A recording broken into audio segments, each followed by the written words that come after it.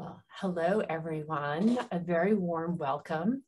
It is uh, really fantastic to be here and to be part of the alumni conversations. I am really honored and delighted today to be in conversation with Alexandra Clare, who is a graduate of the Center for Global Affairs from 2015. She is also an NYU changemaker. We're going to be talking a lot about um, all the change making that she's been doing, both while she was at NYU and, um, and afterwards. Uh, my name is Carolyn Kissane. I am the academic director at the um, NYU Center for Global Affairs, and I oversee our Masters of Science in Global Affairs and our new Masters of Science in Global Security, Conflict, and cybercrime. And um, yeah, no, I've been at NYU for 17 years. And one of the things that gives me the greatest satisfaction and pleasure is to um, is to reconnect with our alumni and to hear about all the extraordinary things that they are doing. And Alexandra is above and beyond an incredible alum of NYU. And we're so very proud of her for everything that she's been doing. Um, and we're going to hear her story today. And I'm just really delighted to have the opportunity to be in conversation with you, Alexandra. Um, and just let me very quickly, before handing it over to Alexandra with a bunch of questions that I have for her, I want to um, one, very much highlight that she is a change maker. And any of you that are listening, if you know anything about the change maker process at NYU, it's incredibly competitive. You can imagine all the alumni that NYU has, um, many incredibly successful, many doing really, really um, incredible work. Um, but Alexandra is a standout. And so she is a 2021 change maker and um, she has every reason to be. She is the um, CEO and co-founder of Recoded, which is an education nonprofit on a mission to empower youth from underserved communities to build careers in technology. And before co-founding Recoded, she launched the first humanitarian innovation accelerator at NYU. And we're going to talk to Alexandra today about Recoded, about the her experiences at NYU and what she's doing now. So, uh, Alexandra, hello. It's wonderful to see you. Hi. Thank you so much for having me. This is this is this is a treat for me. So it's great to reconnect. I know you graduated in 2015, so it's been a few years. You yes. you definitely haven't been uh, lazy. You've been doing a lot of incredible, incredible work. Um, so let's get started. I am I'm I'm I'm at an advantage here in the uh, for for everyone participating because um, I know Alexandra and she was a student at the uh, at the CGA, but for for probably many of you joining today, this this is your first uh, first time meeting Alexandra. So Alexandra, why don't you just sort of tell us a little bit about what you were doing before you came to NYU and why? Why did you choose to to come to new york? I know you're not from new york city but you did choose to you know make that big leap and move to new york city and join nyu so would love to get a little bit of that background. Yeah absolutely. Well um, i was born and raised in sydney australia um, to a family that i think always really underserved the importance of social justice and uh, i think you know the privilege that we had growing up being able to access a lot of education and the importance of giving back to your community. So that was sort of drilled into me at a very early age. And so throughout i think my career i've always been that sort of been at the center point. And it was just a matter of deciding what avenue i really wanted to go down to really fulfill that kind of purpose that i felt felt driven by. So I studied um, for my undergraduate degree, a dual degree, one in a Bachelor of Law and one in a Bachelor of Development Studies. And then throughout my undergraduate degree, had an opportunity to really go out and also do a lot of hands-on experience um, in the field. So got a lot of human rights experience working in West Africa and also had um, a wonderful experience just after I graduated working for a UN court in The Hague, looking at how um, the basically prosecuting war criminals that had um, gone through uh, how do I phrase this? Um, that were responsible for the war in Yugoslavia in the in the 90s. And I think working there really piqued my interest about how conflict started, um, how it could be stopped, the political ramifications of conflict, and and also the very human element of you know getting to to um, deal with a lot of witnesses. And so after that experience, I actually went back to Australia and started my career in law uh, working at the intersection of criminal law and human rights law. I was a prosecutor in Australia for a couple of years, and then um, also doing a lot of human rights work on the side. And and after a couple of years, I was I really I decided that law was not kind of the pathway that I wanted to, to, to continue to pursue.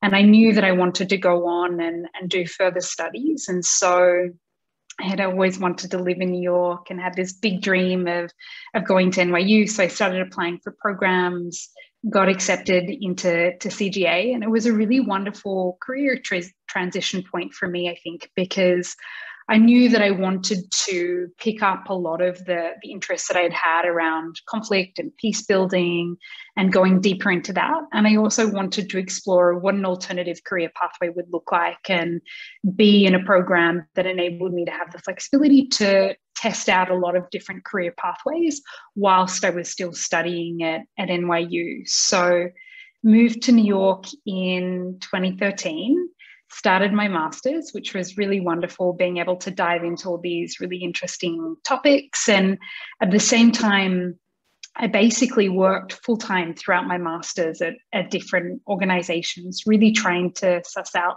what did I want to do post graduation.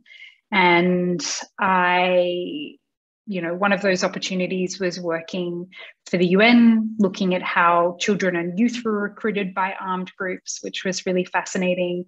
Another experience was at Human Rights Watch and another at International Crisis Group.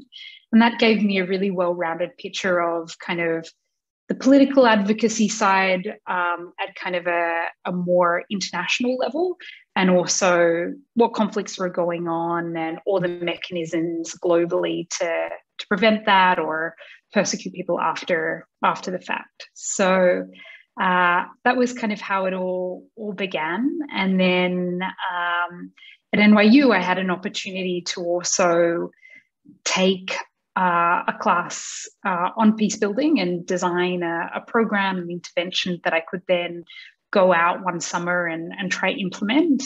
And that was um, the first trip that I did to Iraq, which was kind of the impetus for for Recoded, the very beginning ideas.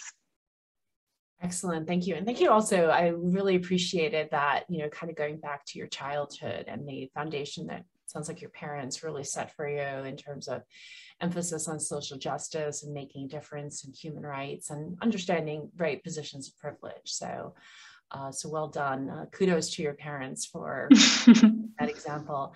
So you come to you come to NYU. You're you're doing peace building. You have an opportunity to go to. I think did you go to Erbil in yes Iraq? Can you tell us about what that what that what that looked like. Um, this would have been, was it 2014? Yeah, it was June 20, June 2014. Um, I was super excited. It was my first trip to the Middle East. And up until that point, um, I had been doing a lot of work studying Africa. So I was kind of unfamiliar with the region and arrived that summer into Erbil and had the impeccable timing of arriving the same day that ISIS took over Mosul. So it was kind of chaotic on the ground and obviously not at all what I was anticipating. Um, I was meant to, I had designed this very beautiful intervention um, that was going to be implemented by a local NGO there. I was super excited. And then obviously it was, it was just utter chaos on the ground. Millions of people were trying to flee Mosul and get over the border into the Kurdistan region of Iraq. Um, and you also had at that stage, the Syrian refugee crisis had been going on for about three years. So you had a lot of temporary refugee camps set up around the city. And so it was really compounding this, this kind of momentous time in Iraq. Um, the economy was collapsing. And so it was, it was pretty hard on the ground. And it was also a really fascinating time to speak to people to just get to understand like people's stories I wasn't able to stay that long. I think NYU was a little bit concerned that I was there as a terrorist organization was, you know, taking over, and it was still very early days and trying to understand would they come into Erbil, would they get over the border? Um, the situation was really fluid, and so I ended up um, spending a couple of weeks there, getting an opportunity to go around to a lot of the displacement camps, seeing the living conditions that people were in, speaking to a bunch of people before I evacuated. But it kind of sparked the idea, I think, really understanding what interventions were being implemented there, um, what were some of the gaps, and kind of led me into a lot more further research beyond that point. And so I was able to, to sort of take that experience gain a bunch of contacts and then after that trip you know really start doing digging into research. What do people want to learn? What were the vulnerabilities? And i think coming from my experience at the un where i had basically been looking at a lot of the trigger factors for youth joining armed groups it was a real, I was really thinking, wow, this is a massive security threat. You have um, a large, one of the largest youth populations across the Middle East, um, many of whom are incredibly educated but disenfranchised by the lack of economic opportunities, the lack of options to, to get employment after graduation or even the lack of ability to get educated if you happen to be a refugee. There was absolutely no higher education programs for refugees. There were you know, obviously it was in the very early days of people being displaced, and they was very unclear how people would be able to continue education beyond that point. And um, so, really trying to think what can you do in a situation like that where the economy is collapsing, where people are already feeling marginalized, where they're really wanting a sense of community, and also knowing that there was a very real threat that a lot of people would be tempted to um, join uh, a radical group like like ISIS, and so that was kind of where the initial seeds of the idea came from, and then from there I was able to really go back multiple times um, over the next year and a half as you know, doing research trips, I was able to do my master's thesis on what would become the, the initial idea for Recoded and refine that over time through through multiple field trips back and forth um, over different breaks at, at NYU.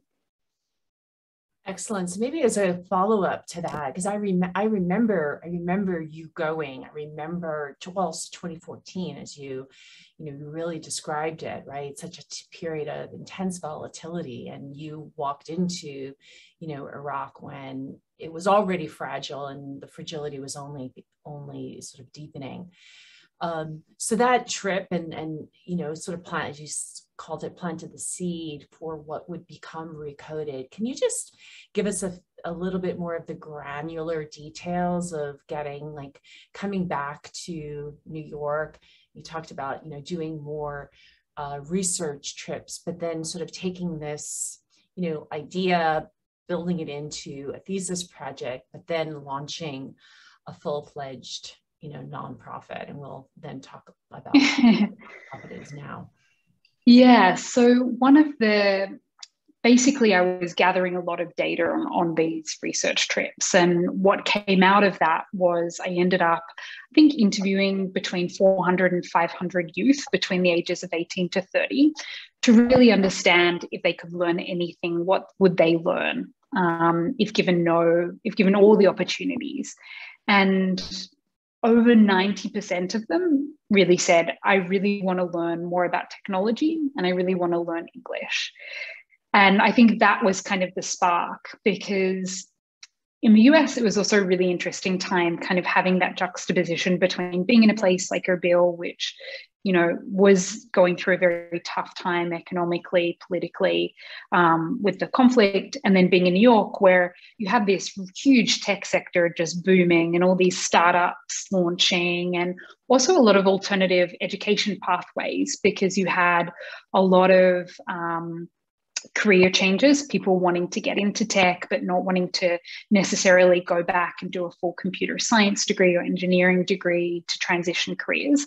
So you had a lot of these like coding boot camps, basically, which were upskilling people relatively quickly and enabling them to transition careers. So many for many people who didn't even have university degrees.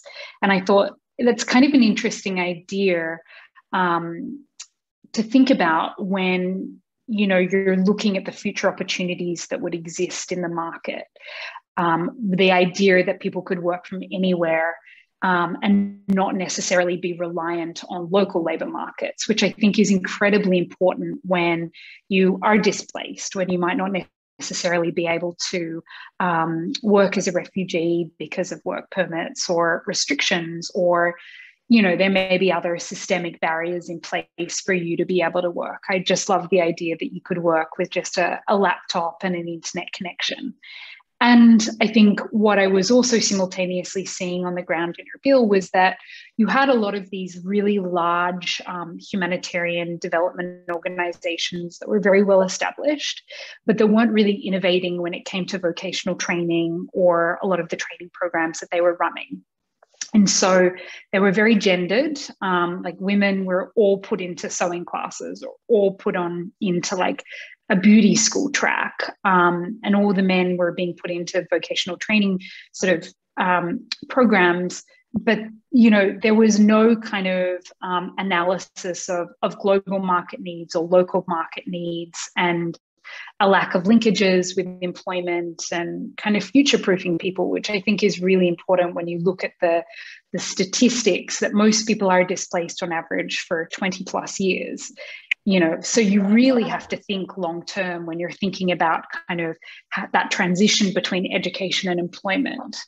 Um, and so I basically started to think about I wonder if you could take a, a model uh, like a coding bootcamp, which was getting pretty prevalent in a lot of developed contexts, and adapt it to a context which was undergoing a lot of conflict and insecurity, and see if you could upskill people that couldn't access the local labor market and help upskill them and facilitate that that next step into employment.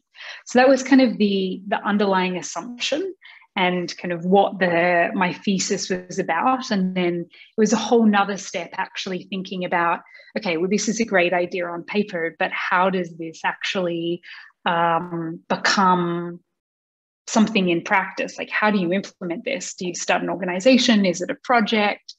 And personally i was also really conflicted. I had a job offer coming out of nyu to move to geneva and work as a sort of in humanitarian diplomacy for the International Red Cross, which was kind of my dream job pre deep diving into all of all of this research. You know, it had kind of been the thing that I had been working towards my whole career. And I felt really conflicted. Do I take the risk and turn down the job offer and start something which you know has never been tested before.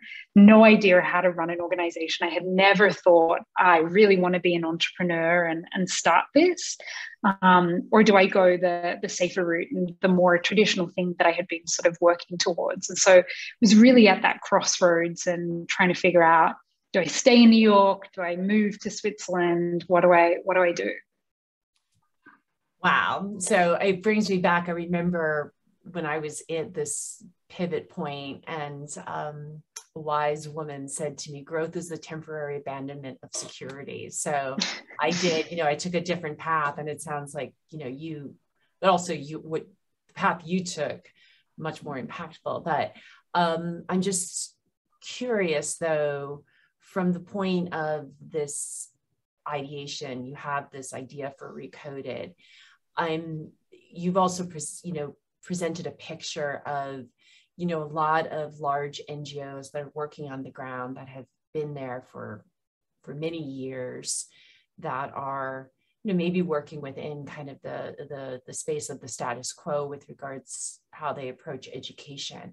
You know how did you break through? I mean how did you i'm just thinking of the you're go you're working with internally displaced people you're working with refugees how did you break in to being able to offer them a program such as recoded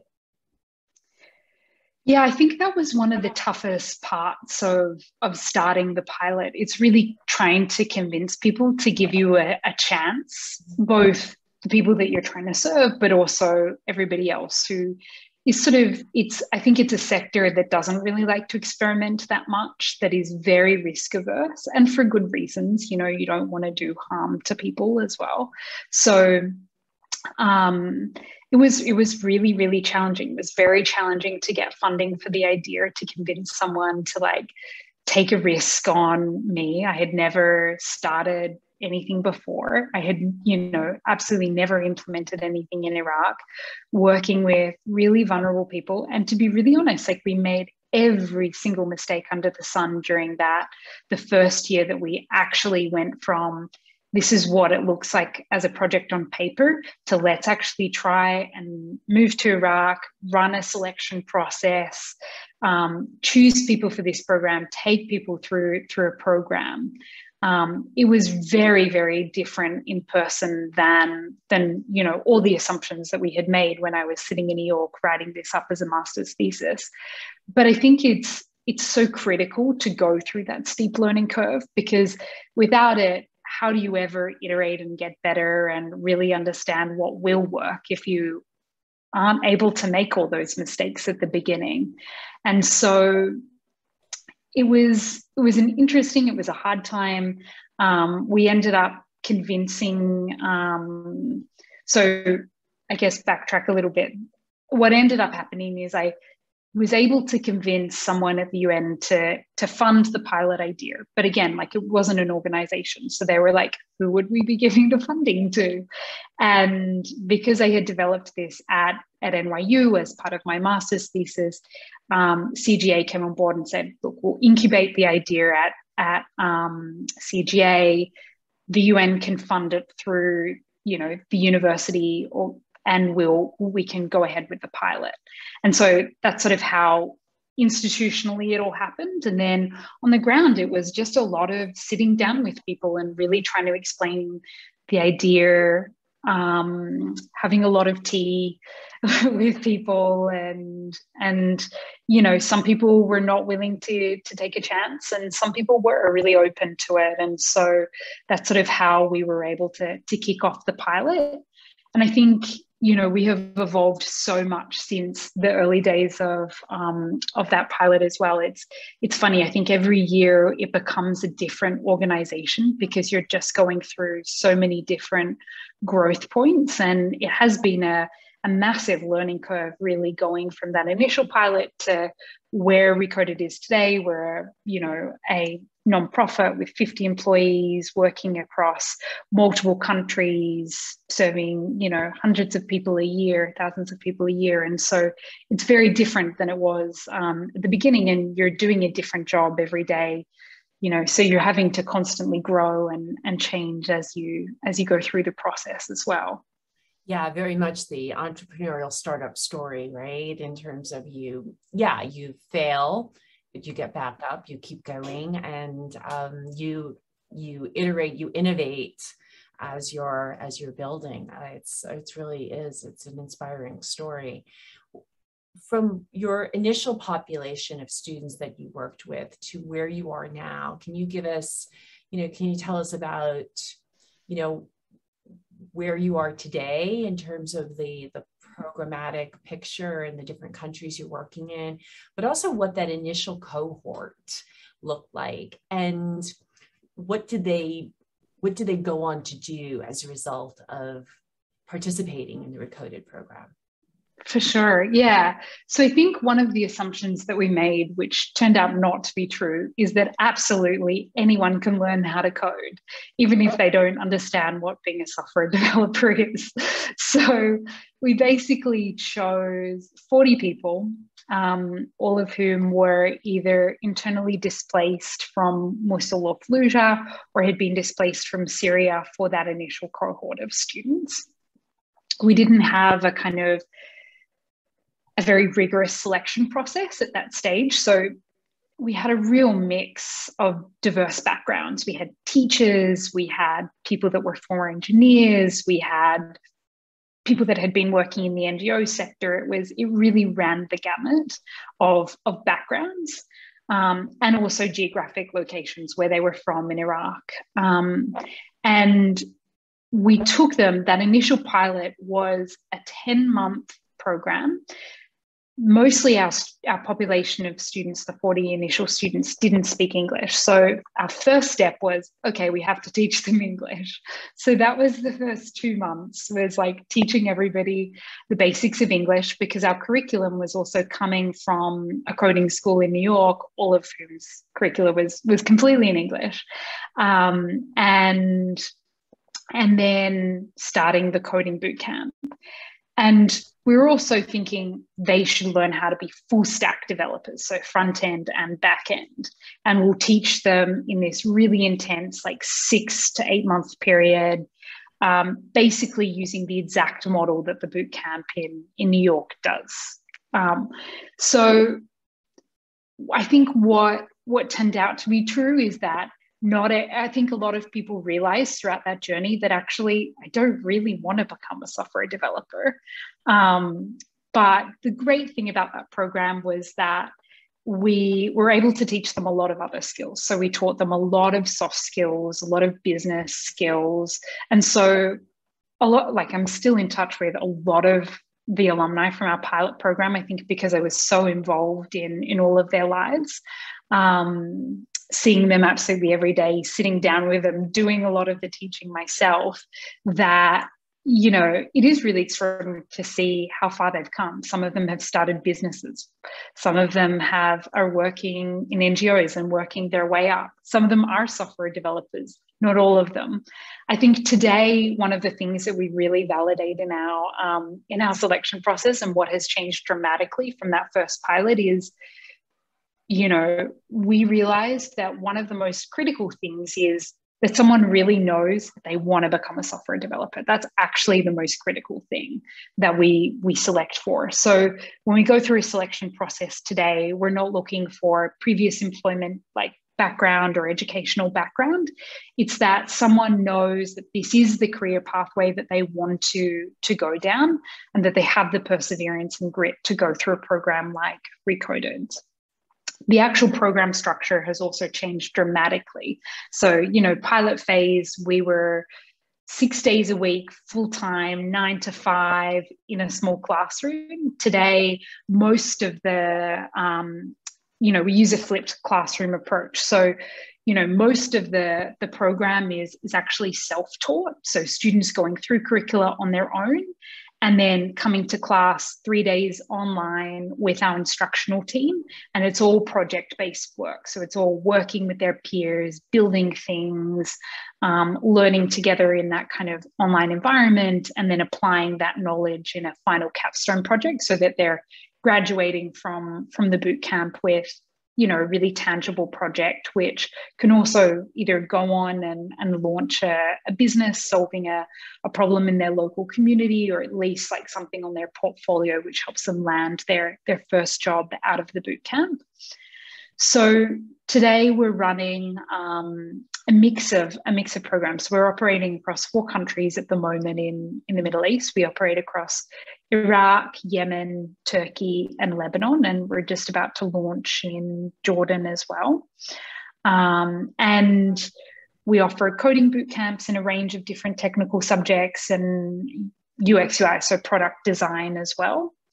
Um, and then we've also started to get into more entry level programs as well. So, not just the career focused programs, but for people who are, you know, just testing the waters, seeing maybe this is the path for me, maybe they don't have the language skills, making those programs a lot more accessible, also in Arabic, because all of the career focused boot camps that we do are still today all in all in English because a lot of our students are working remotely for for companies all around the world, which is is really exciting.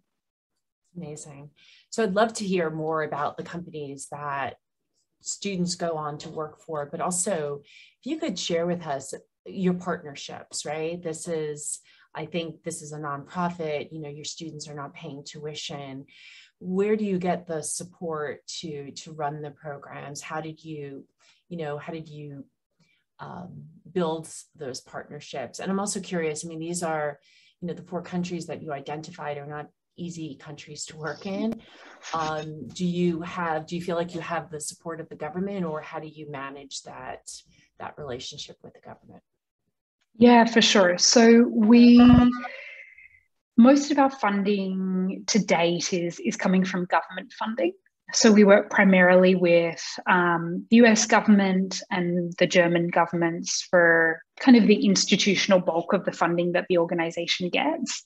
Um, it has been really a, um, a team by team approach. I think gathering that funding, launching in new countries, really understanding the priorities of, of different funders. Um, I think one thing that that kind of makes Recoded different is that, you know, we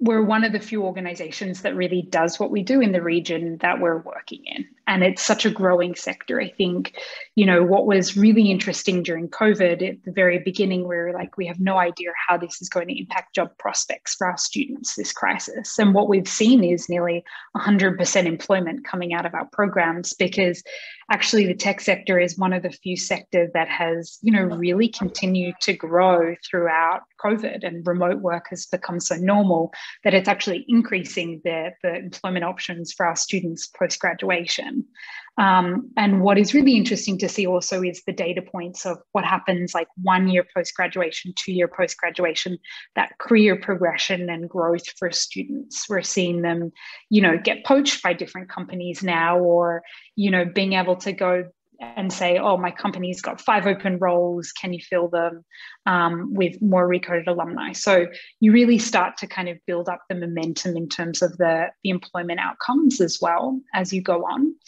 We're also lucky to get funding from a lot of tech companies that also um, support us in different ways. So, one of the partnerships that we launched um, last year was with Bloomberg.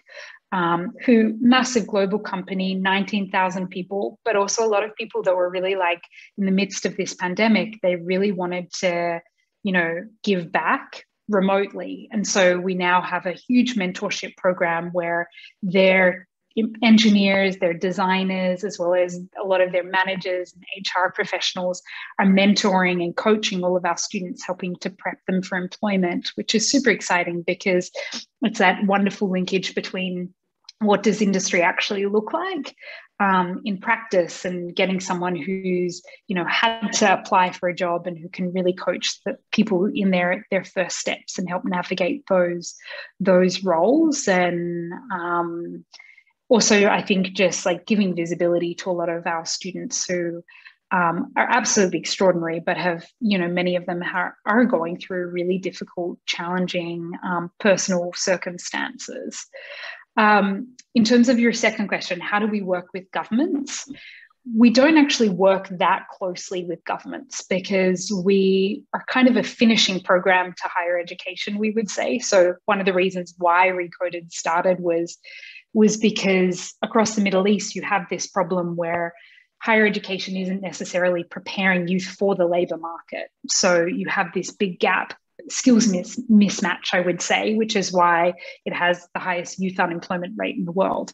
And so, um, you know, what we usually say is that we're, we're either a finishing program for people that have a computer science degree but none of the actual practical skills to be able to get get a job will help them get those practical skills and help them land their first job um, or we are an alternative to higher education. So people that lack access completely because they've been displaced and can't get into the, the local higher education system. It's it's a wonderful replacement for them to get skilled and get skilled in a job that really enables them to professionally progress over the long term, earn a decent income, and then be able to um, you know support their families, which is is super important.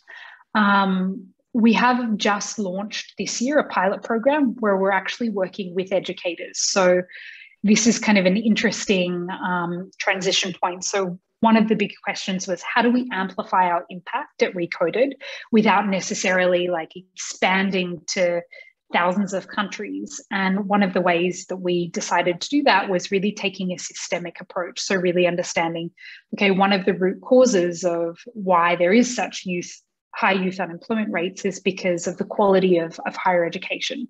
What if we were able to target educators to improve the way that they teach, um, give them the latest pedagogical knowledge, the latest skills, the latest tools and techniques that we've been learning about over the last couple of years, implementing online programs using flipped classrooms and blended learning methodologies and, and translate that into higher education at large in, in the Middle East. So we're just taking our first cohort through a fellowship where it's similar to our boot camps, but targeted specifically towards higher education um, professionals that have been teaching for a couple of years, vocational trainers that may be great technically, but don't have the teaching skills to really um, upskill youth populations. And what we've seen so far is that for every educator that we teach, on average, they're teaching about 100 youth per year. Um, so you could really start to see the multiplier effect that you could have over time with with a program like that, which is really exciting. But again, we're not really working directly with the government, it's more educators um, as individuals. Love that. That's fantastic. I didn't know that you had moved into that area, but so important as you described, right? And the impact, right? When you say, you know, one teacher to and 100 students, that, you know, that's just, just so important. It's really incredible. Can you, and for those out there, please do send your questions in. Um, I will, I can very happily ask, continue to ask Alexandra lots of questions, but I am sure that there are some questions that, that those of you uh, joining us today might have. So please do send them in. Um, so in 2019, um, Alexandra and Recoded was highlighted in Vogue. Um, and the title of the piece was how, how Alexandra Clare is using tech to empower war affected teens. It was an incredible piece. It was a really wonderful interview. Um, I am curious also how you work with girls, girls and young women, because again, some of these countries don't have the um, the best records of um, of uh, female equality and opportunities for women. So I'd love to just get a better sense in terms of how you've addressed that within Recoded and what that has meant for the um, for the women that you've uh, you've worked with. Yeah, so we've worked with, I would say, one of our underlying mission um, mission goals that we have at Recoded is, is also bridging the gender divide in technology. So we really are quite active when it comes to making sure that we're selecting um, really powerful women to go through our programs and then helping them you know showing that there is strong role models that this is a tangible career pathway and helping them get jobs so to date, I think we have about 45% of women that have gone through our immersive programs are female. And from the very outset, we really create um, an environment where they're set up to succeed, where the expectations are set that absolutely everybody is equal and that there is um, equal opportunity in terms of learning, but also that we're going to help prioritize um, great employment outcomes for them. And then we've also piloted um, a couple of all female programs. So last year in Iraq, we started to run some programs in communities that had been heavily impacted by ISIS. So it was a, sort of a combination of um, design programs with a lot of psychosocial support for women that had experienced huge amounts of trauma. And that was also really powerful, really creating these safe spaces where they were learn, learning a tangible skill that could transition them into different career pathways, um, but also getting women in a community to come together and really talk about their experiences, having that space, safe space, and that that support from mental health professionals to enable them to kind of move forward in in their lives. Um, and then yeah so i would say those are the two main kind of programmatic things that we we have done. But i think part of it is um, you know being active in in the voices that we highlight and being able to show that this is a, a, viable career pathway and and taking a pretty individual approach to all of our students. Because i think you know across the board there's imposter syndrome for both men and women um, and I think making sure that there is these safe spaces in the classroom for people to be able to vocalize that and and talk about it and how does that impact your career choices. And I think one of the very interesting things that we've actually seen is that by running the programs online, they're a lot more accessible to women. So this was, you know, it was always a challenge for us because we were usually running classes in the evenings um, we're having to think about like the actual logistics of doing that. So, you know, program managers were pre COVID going out and speaking to a lot of females families or the females families were coming to interviews so that we could reassure them that this was a safe learning environment that they would be taken care of that we were going to take care of the actual logistics of coming to and fro from from class and being online has just made it a lot more accessible accessible to women. There is no longer a commute. So it means we can, you know, um, retain them. So we've had higher retention from women. And not just women, I also think like people with disabilities, it kind of makes the programs a lot more accessible by by having it online. And also people that are not living in in city centres, we were really constrained by the fact that it was we had physical training hubs in certain cities. Now we're opening up to a whole country. So we launched programs in Iraq where it's, you know, people from nine different cities participating, um, many of whom would never have had the opportunity to come to Erbil or come to Baghdad for, for a program previously, but can easily learn online and get a job online. So that's been also really impactful. Fantastic. Thank you so much for that. We have a we have a couple of questions, and this is kind of a nice, a good question based on what you just shared. Um, and thank you, Pia, for your question. Um, I was wondering, have you been able to see any tangible impacts on how higher education impacts security threats? Youth joining terrorist organizations, has this come up in any conversation with students? Thank you, Pia, for this question. Yeah, it's a, it's a really wonderful question. I would say um, you know there is not like a lot of data um, on this that we've been collecting as an as an organization. Um, but anecdotally i would say you know the higher education um, or the higher access to opportunities to have the less likely that you are to um, to feel like you should you're seeking out a sense of alternative purpose or community. So, one of the things that we've been pretty intentional about at Recoded is really creating that sense of community um, with students and making sure that they have that sense of purpose and that it is really career driven because I think it is important. Um, but there is not like a lot of data to say that absolutely everybody that is highly educated or that has a job prospect will not join a terrorist organization. And um, yeah, I think it, it really comes down to, to individuals. Great. But I, I think, as you pointed out, right, you noted earlier in the conversation how that was, you know, almost a driver for you when you first got absolutely in terms of seeing, you know, seeing ISIS um, taking over, recognizing young people, high high rates of unemployment, that you know opportunity structures, if they're not in place, it's easier to you know to go down a different path. Whereas if those absolutely structures are there, so yeah. Really important. So this is a uh, this is a great question that's also come in. Is there any advice you would give a younger Alexandra or someone aspiring to take on a career like yours a few years down the line? I would say if you're if you're between the traditional path and the less traditional path and you're in a position where you're able to take the risk um, you should definitely go for it because you have absolutely nothing to lose.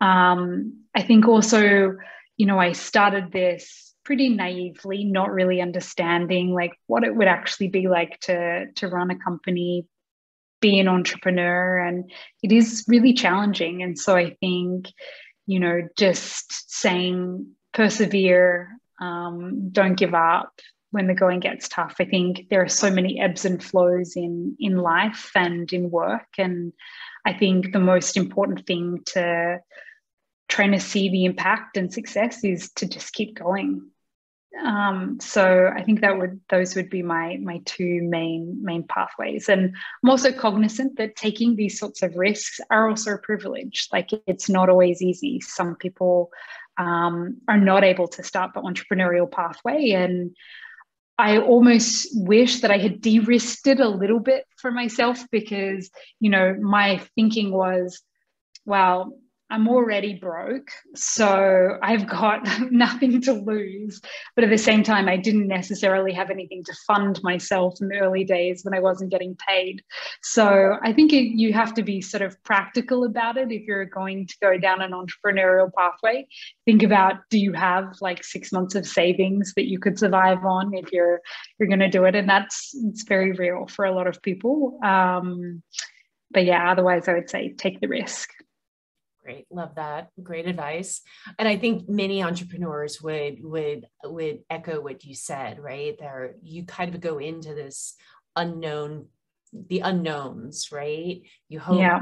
Um, but if you had known the unknowns before taking the path, right, been, um, may have been a little bit different. But it's uh, again kind of being open to that, uh, being open to the challenges, right, and being. I think one of the things that you said in your in the Vogue interview was that, you know, you weren't afraid to fail. And you noted early on that, you know, the first year was really hard, right? There were some mistakes that were made along the way, but that you didn't let those mistakes stop you. You persevered through them. So the grit, very important.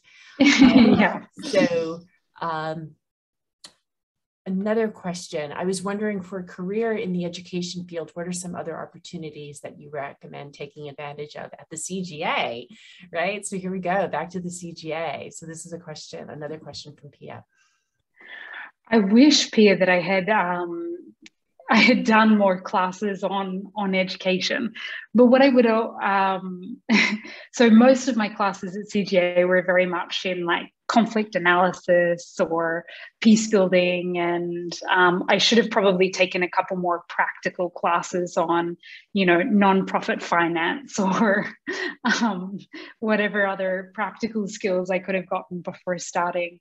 Um, but I would say one of the wonderful things about CGA is just being able to, to take a diversity of classes, um, not just at CGA, but if you're doing a degree at CGA, you also have the opportunity to do classes in different departments across across NYU.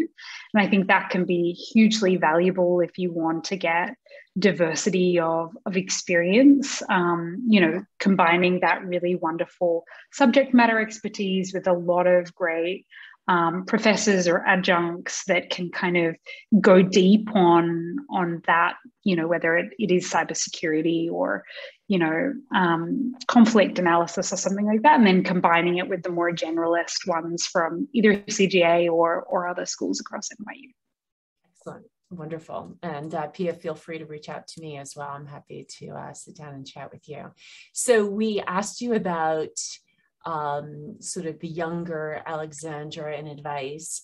What about the next five years, the next five to 10 years? What do you, what's, what's your vision for Recoded? Where do you see you, you know, you've already said that you're going to be moving into Jordan. You're now working with educators, you know, you're, you're, you're making some really significant um, uh, additions to to what you're doing at Recoded. Love to get a sense in terms of you could give us that picture for the next five to 10 years. Yeah, for sure.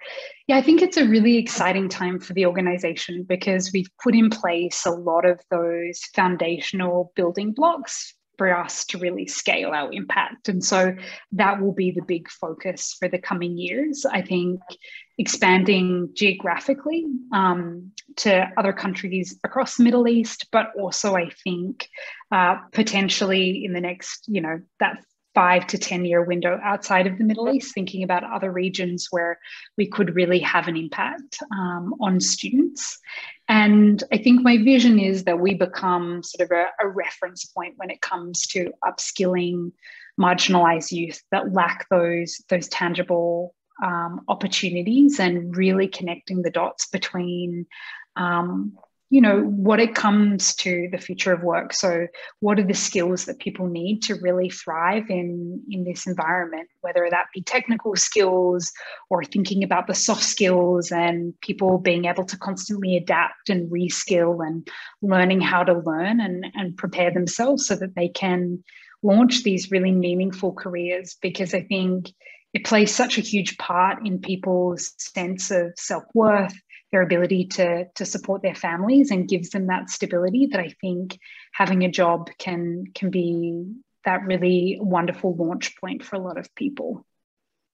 Excellent. So we have another great question, which actually is a question that I had meant to ask you. So Jenny, thank you so much for, for asking this question. Regarding the infrastructural challenges, especially in remote communities, how have you addressed or work around the connectivity issue for those who do not have internet access and can't make it to a hub for in-person training?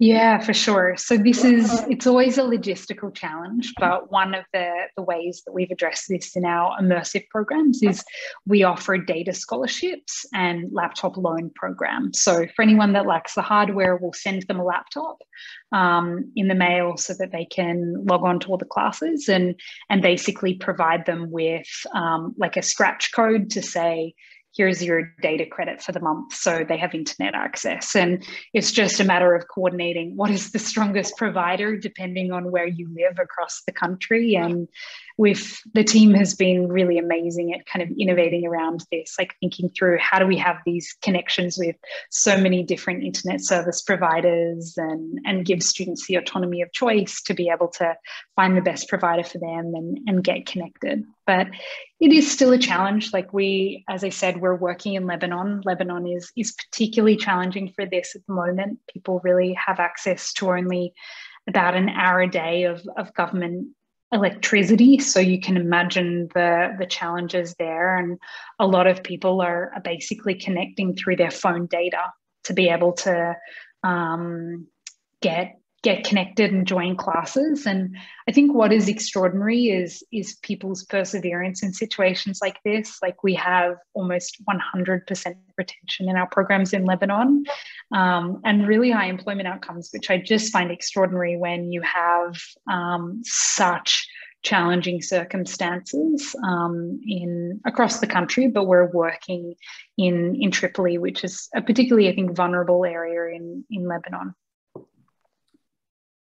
Wow. Yeah, no, inc- incredible, right? And the way that, again, kind of going into the more granular idea of these partnerships that you've created as you, you know, as you highlighted with internet providers and making sure that, you know, you find those access points in very, very challenging environments where, um, but yet you're doing it, right? And I think yeah.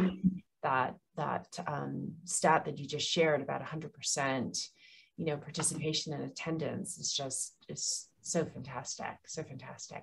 So any any anything else that you'd like to share? Any final thoughts? Any advice? I you shared some great advice for for pia in, in terms of thinking about education and what to do at the cga but as a you know as a, a you know a rock star entrepreneur a, um, a really impactful nonprofit is there something that you see a kind of a space that that, that there's a real need that you know maybe someone joining us today either they have some they have an opportunity to help support or they themselves might might get involved?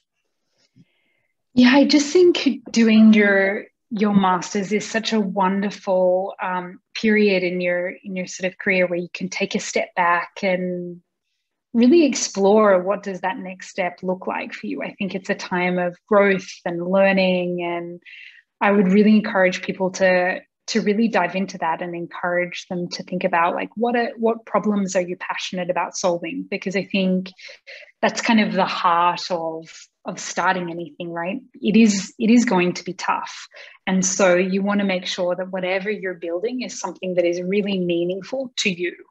Um, and i think doing a program enables you to just gives you that space to step away from maybe another career or the opportunity to go down different pathways with different courses and really explore your curiosities. And I think it's a you're at a, a, later stage probably of your career than you were at undergrad, where you know just a little bit more about yourself and what you want your future to look like. And so I think just get curious and um, yeah, dive into problems because that's usually where the most creative ideas come up. And whether I think it's such an exciting time to be launching a career, it's such a period of change for, you know, in the education space, um, in the technology space. You know, there is so many different geopolitical stuff going on that there's a lot of problems and exciting things to dig your your teeth into and a lot of solutions that don't exist yet. So i think it's a really exciting time to be to be launching a career and diving into this whether it's building something yourself or joining another startup or um, another organization where you can help someone else build something. I think it's great Beautiful, and I love the the emphasis on curiosity. I always uh, tell students when they're starting the program is to be open, open to surprise, right? That you know, oh, completely. That the pathway that you think you're going to go on may may shift, and you're beautiful. Yeah. Really quite incredible.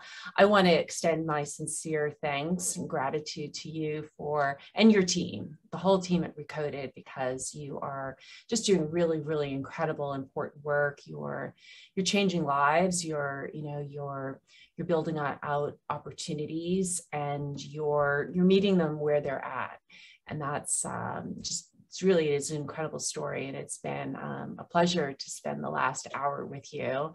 Um, I'm a, a, big fan of yours, as you know, I've, I've shared with you on other occasions, but I really, um, to see how it's, you know, Recoded started as a seed here at the CGA and now what you built and what you are, you know, expanding. Um, it's just, it's, it's really fantastic. And NYU is very, very lucky to have, to have you as a, as an, an alum and to be the 2021 uh, changemaker, alumni changemaker. So it's uh, it's a really well-deserved recognition um, for your accomplishments and for the work that you do and will will continue to do. So really, really grateful.